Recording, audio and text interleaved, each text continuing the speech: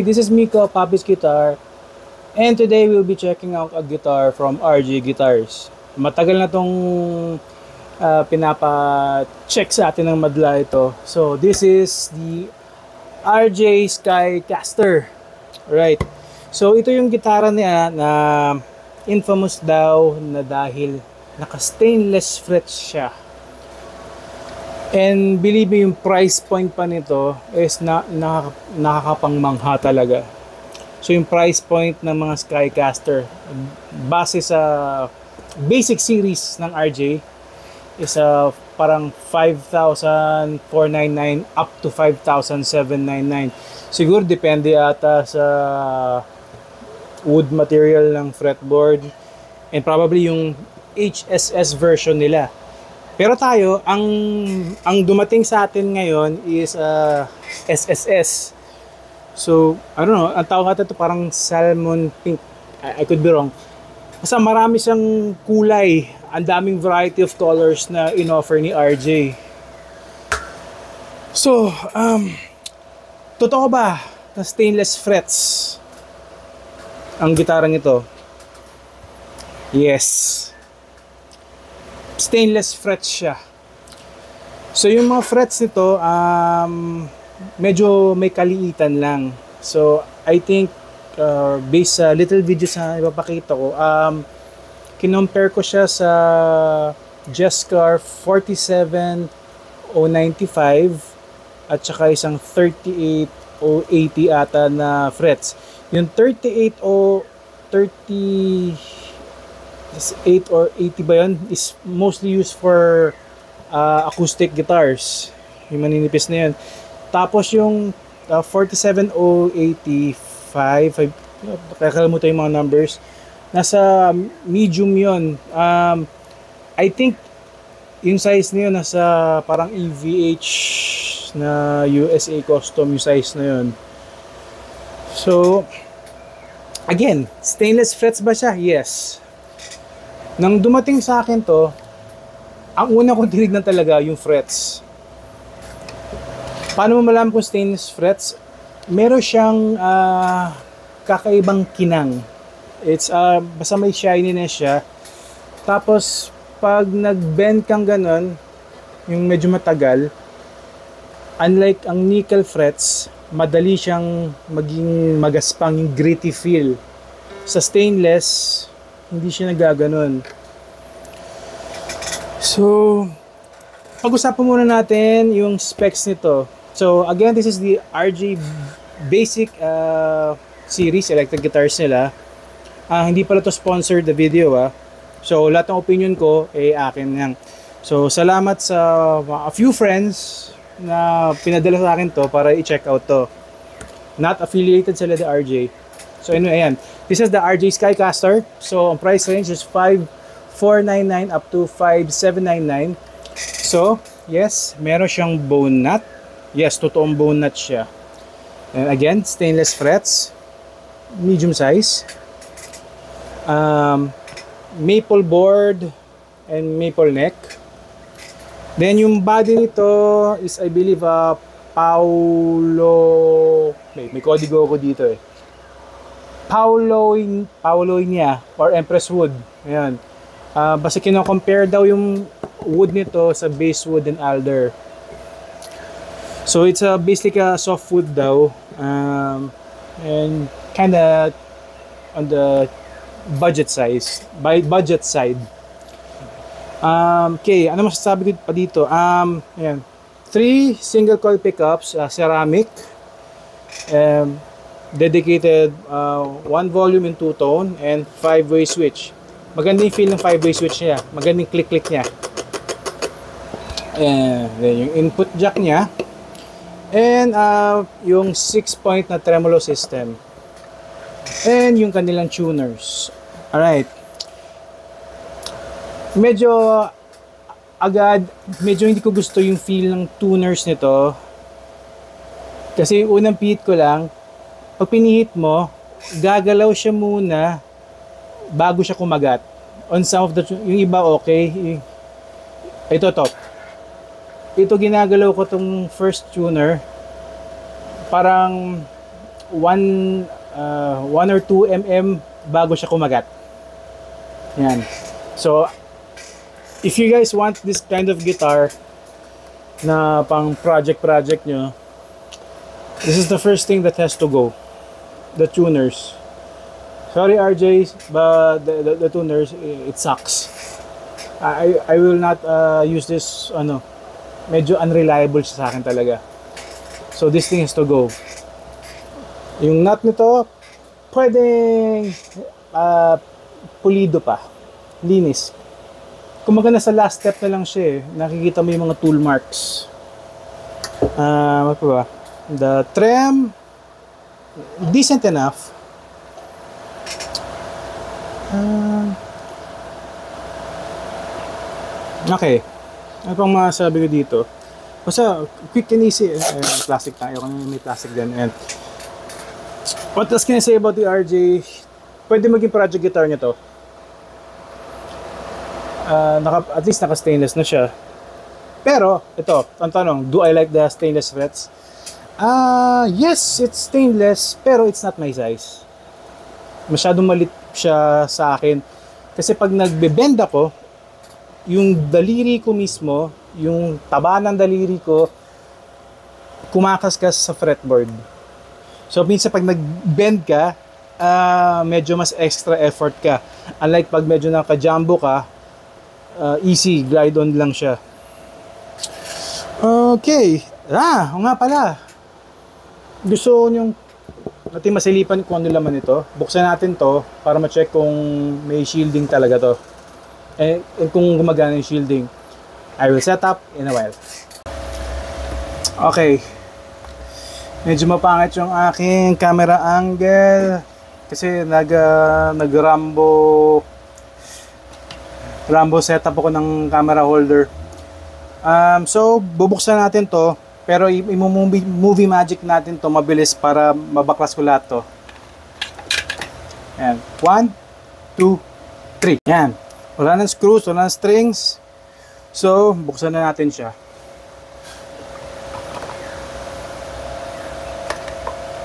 Yan ang laman. Hmm. Shielding paint. Okay. So, mayroon ditong aluminum. Pero, lahat tayo gusto natin malaman kung talagang shielding paint to. So, hindi ako masyadong magaling sa mga voltmeters.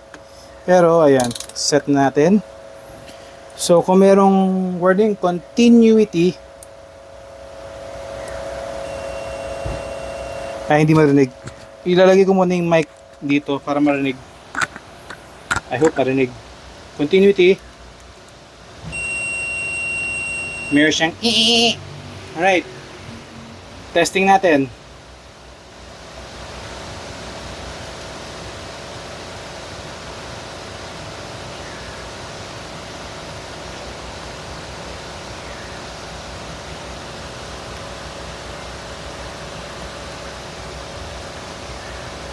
Hmm.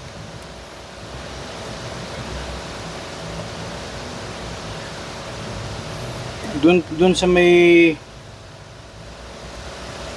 yung sa gitna, yung nakita natin ano ito.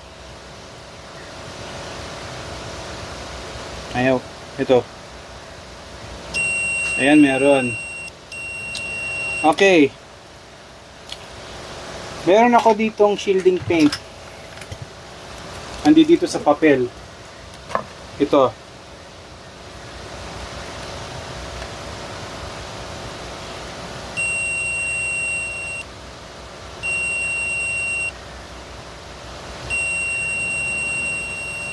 Yan ang shielding paint. Okay, again, testing natin to ulit. Wala. Wala. Wala dito ayaw ayaw meron okay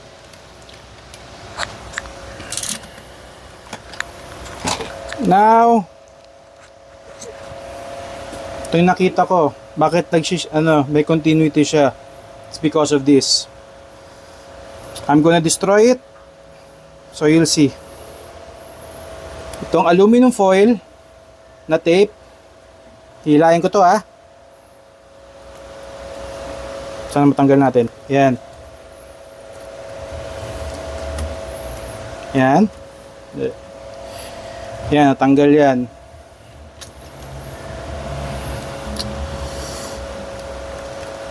Yan. Hindi ko matanggal. Pero you get my ano, point and idea. So, yan. Yan ang shielding nila. Yan ang pang dagdag ng continuity. Tape. Basta makikita yung korte. Ay, nako. Hmm.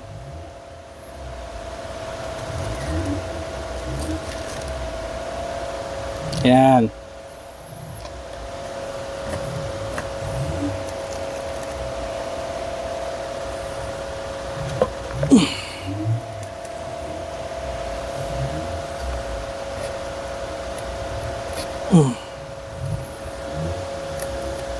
Okay, there is your shielding.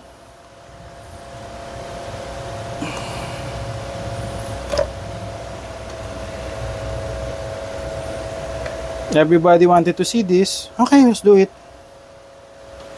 Ayan. Diyan, ang aluminum coil tape, papunta pa ganon, paakyat dito. Na nagla-land dito para may continuity. Okay. Nakita nyo na, that is their shielding. So again, multimeter. Baba ko to. Sana ito yung mic. Yan. Tunog.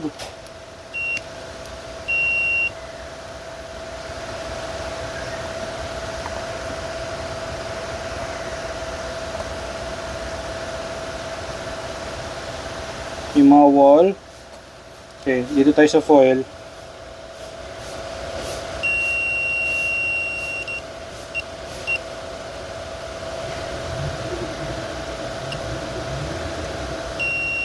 Ayan.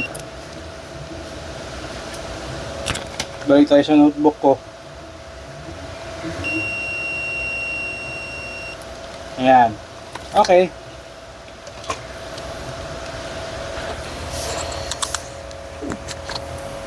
Bawal, yung mga na dito, bawal mapikon.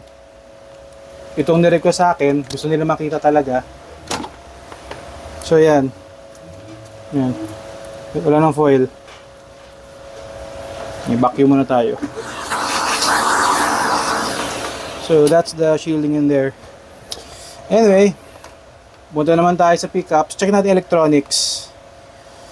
So these are generic uh, potentiometers. Um, then yung 5-way switch nila. Eh, yung kanilang mga pickups. So ceramic siya. You can upgrade this if you want. Okay. We shall buo it again. We shall movie magic. Alright, and we are back.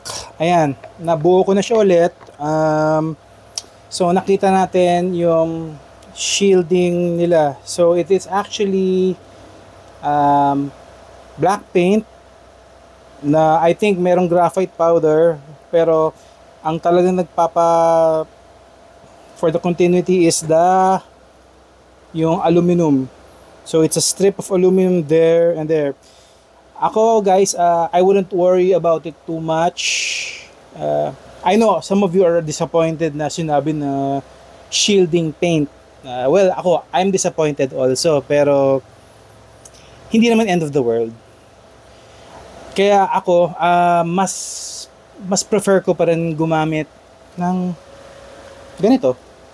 Copper tape. At least ito agad sigurado. So ako I still go for this. And it's not that quite expensive. May mga a few rolls naman, mura lang naman siya. O kahit ano, yung aluminum tape na ano, okay pa rin yan. Pwede rin yan.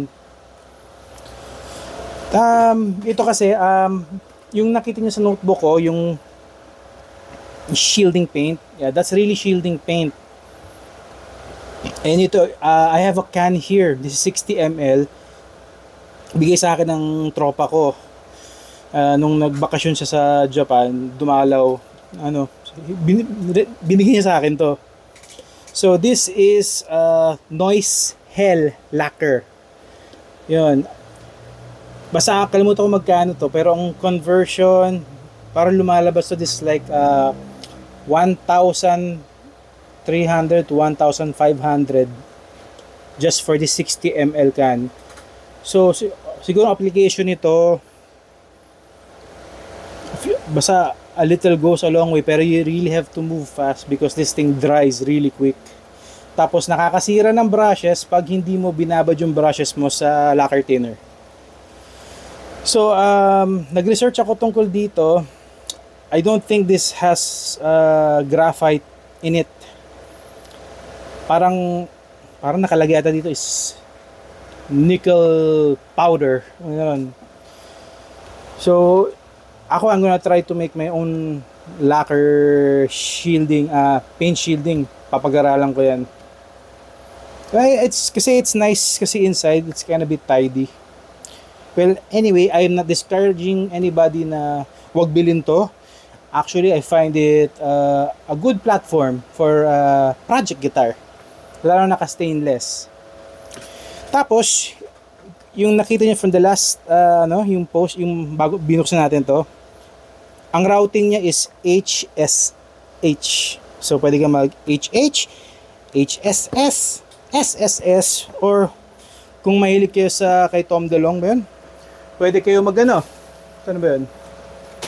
Yan, pwede kayo mag one pickup. Ang ganda pala oh, one pickup na pearl. Eh, may mga extra pick guards ako natambak dito eh. Ayan. So, um, testing tayo ng mga sounds. Uh, medyo mahaba yung video to. You, you can continue to watch it. Pero, uh, I just did this video sa mga request nyo. So, ako, I'll, I'll still use this as a project guitar. And that's a stainless. Good pa rin. Ayan yung ano, sinasabi ni, ano, yung kanyang video kay Pax ba yun? About yung this being kind of light, balance pa rin siya. So, okay pa rin siya. I'd still use this. And the radius is pretty good. Right, uh, testing mo tayo sounds and then I'm gonna give my final uh, comments about this guitar. Ayan, testing. Ayan, tinanggal ko yung aking lapel kasi um, medyo sasabog yung tunog eh. At saka I want the cellphone to get the sound of the environment. Papatayin ko muna yung fan nito at may ingay. para yung sound ng gitara talaga parang nasa gig kayo. Uh, hindi ko tayo papasok sa DIW para hindi siya maging processed. So this is the Skycaster. So sounds tayo. Cleans bridge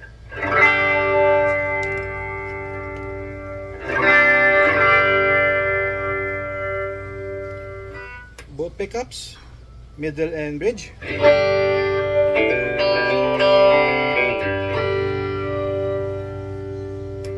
Middle.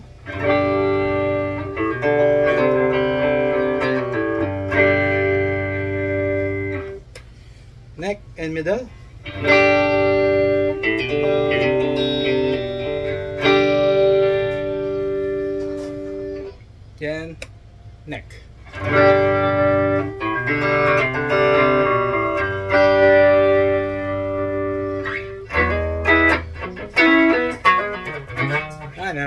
Ko.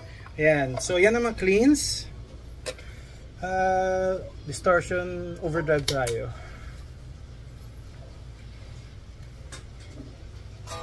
Ay, pero, ay.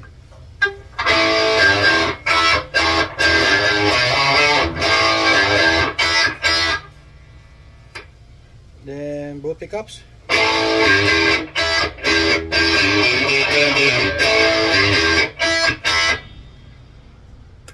Middle.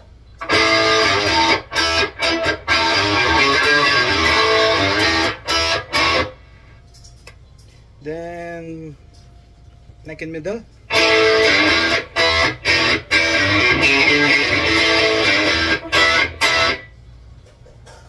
Then neck pickup.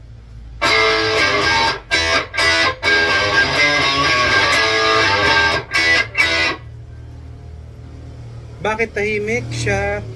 Because I have a noise gate on. Kung pinatay ko yung noise gate, uh, 60 cycle hum, typical of ano, single coils.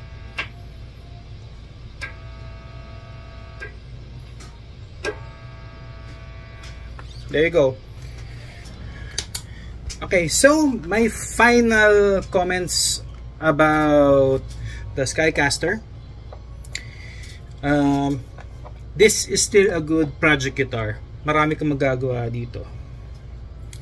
Uh, the things that I'd like to change, uh, if this was mine, ito yung unang-una ko. The tuners. Uh, hindi ko talaga siya gusto. And may naka usling screw na hindi pasok na pasok. Ah, nakapansin ko yan. Uh, okay, fret ends. Uh, buwis pisngi tayo. Sana busugatan ako.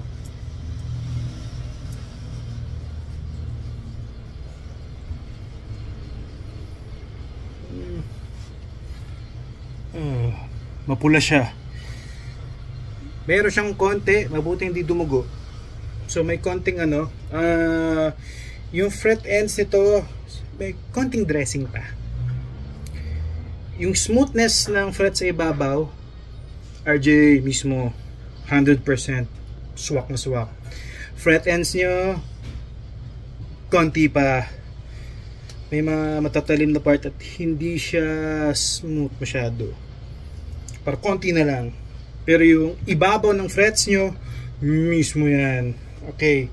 What else? Um, ayun, yung pickups.